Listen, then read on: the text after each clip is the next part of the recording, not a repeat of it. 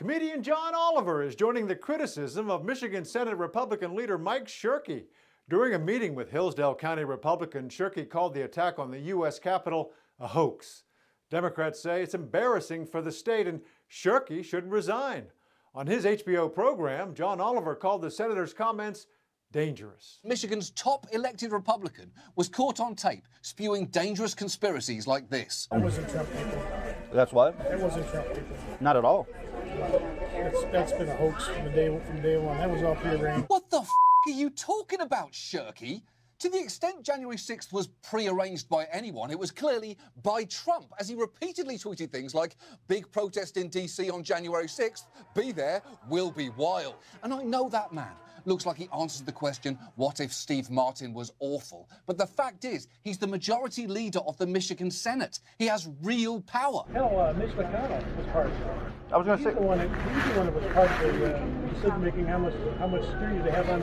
I think they wanted to have a mess. But that isn't what provoked Hillsdale County Republicans to censure Senator Shirkey.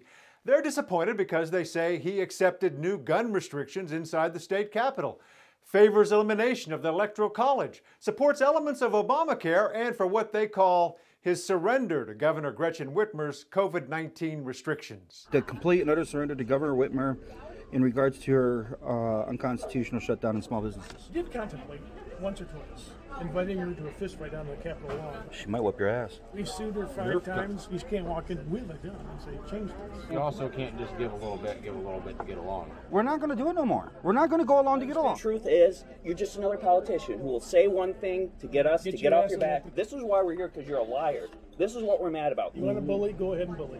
If that's a bully, then that's a bully. Just go ahead and bully. Call me a bully. I call you a put if you call me a bully. You're in position for us. Yep, I'm doing the best I can. You should run for office and you can fix all this stuff. The day after this meeting was recorded by one of the participants, the Hillsdale County Republicans voted to censure Senator Shirkey to show they disapprove of the way he's representing his district.